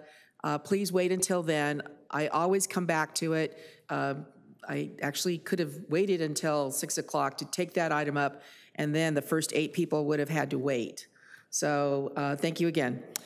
So now we are on item number 33, which is adoption of ordinance to amend Chapter 5, the Oceanside City Code, to align the city code with changes in laws, regulations, and best practices concerning the operation of regulated mobility devices, including e-bikes, within the city limits. This was introduced on March 13th with a 5-0. And we There's, have, um, we do have public on this item. okay, how many? Uh, Two. Okay, let's get started. Our first speaker is Samia N, to be followed by Ella Rivera. Okay, this is on um, the uh, bikes and e-bikes. Sa- Samya N. Okay, how about Ella Rivera? Okay, it looks like we do not have those speakers. So um, there was a motion to adopt, and I believe there was a second. Any other requests to speak? No? Okay, uh, Mr. uh, Mullen, please title the, uh, the ordinance. This is the second reading and adoption of an ordinance of the City Council of the City of Oceanside amending Chapter 5 of the City Code to incorporate changes regarding the operation of mobility devices. Thank you. Let's vote. Motion approved, 5-0. Thank you. Finally, last item is uh, general council member comments. Uh, Councilmember Joyce. Just brief updates from recent meetings. So last night, the Housing Commission met, and they had a really um, wonderful discussion about the tenant protections ordinance and the uh, plans that staff are bringing back to us at our next meeting. They talked a lot about um, what could be uh, included in our own TPO, what's going to be included in the new state laws that are going into effect, ac- actually April 1st um, new protections for uh, renters are going into effect. So I just uh, urge my council member uh, colleagues and the mayor, uh, review that video because it's hard for me to summarize all of the feedback that they gave. It was very um, comprehensive and it was a really good conversation. So I think it's really worth your time if you have a chance. And then the other update is uh, kind of an update from the trip to DC that um, I was able to go on with our staff we uh, were asking our legislator, Mike Levin, to uh, make sure that he um, fixed the problem that we were having with the Army Corps of Engineers, where they were unable to finish the study that they owe us with the money that was allocated for it. And there was a legislative fix, uh, thanks to our lobbying group and thanks to Mike Levin for following through on this problem. Uh, and the legislative fix now allows the Army Corps to accept more of our money to finish the study, which is a really important study for our long-term uh, coastline health. So that's all I have for the updates for council member reports. Thank you very much. Councilmember Robinson? Thank you, Mayor. Um, Just because Councilmember Joyce asked, I'll give you a quick update on NCTD. I did go to the Board of Directors meeting on the 21st, and that was the first meeting where the new CEO, Shawn Donaghy, was there.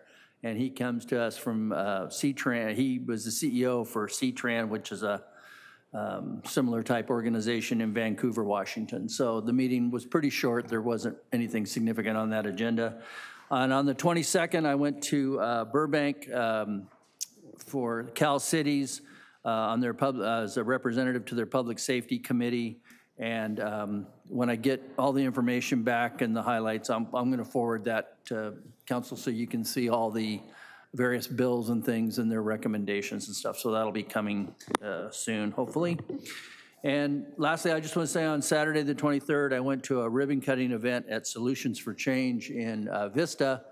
And the, the interesting thing there, that's an organization that gets people out of homelessness and um, they take no government funds. But what was interesting, I think, although it's in Vista, they told me about 60% of their clients come from Oceanside or have some tie to Oceanside. So uh, if you haven't been to uh, Solutions for Change in Vista, I strongly encourage you to go check them out and see what they do. Thank you. Thank you, uh, Deputy Mayor Keim. Per Councilmember Joyce's request, I'm, I'm happy to update you on Sandag. It's very exciting every other Friday. Um, Last Friday, we adopted, uh, we adopted, or we didn't adopt, we passed the draft budget. We're going to come back, obviously, in a couple months for the final. Um, I have serious concerns that it's very South San Diego-centric spending. We have projects that we've been waiting for since Transnet passed in 2004 that are voter approved, like the 78-5 interchange, the I-5 lanes, 78 lanes. And just for an example, the I-578 um, which I think should have been done long ago. We don't have design and engineering budget until fiscal years 29 and 30. So um, I made it very clear that I'm going to have problems passing the final budget if we don't move up some of our funding, because we have big projects that aren't voter approved in San Diego worth hundreds of millions that are going forward, and we're still waiting for these projects to be done. And on top of that, we have an emergency or a, a um, a last minute meeting this Friday to address the, the toll road issues on SR 125 um, and see if those are also uh, issues on the 15th. So, one piece of very good news we did pass um, the environmental design for the regional beach sand um, three project. So our uh, cities up and down the coast pitched in money for the studies. Hopefully we can get it going the next few years.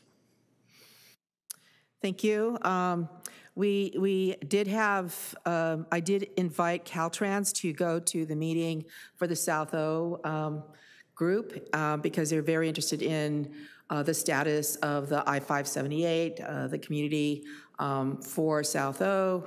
Um, do, do not want to flyover. In fact, a lot has changed since um, um, in the last 10 years, especially having to do with uh, requirements and greenhouse gas and uh, uh, vehicle miles uh, traveled.